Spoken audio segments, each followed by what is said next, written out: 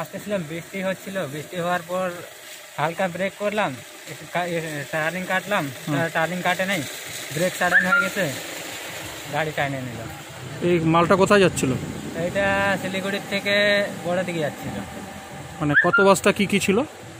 এই এরকমই ছিল এই পেঁয়াজ ছিল আর রসুন আর আদা ছিল।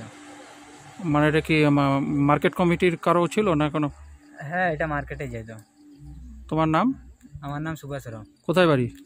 বড়দিঘি বাজার বড়দিঘি বাজার মানে মালবাজার? হ্যাঁ মালবাজার এখানে তো?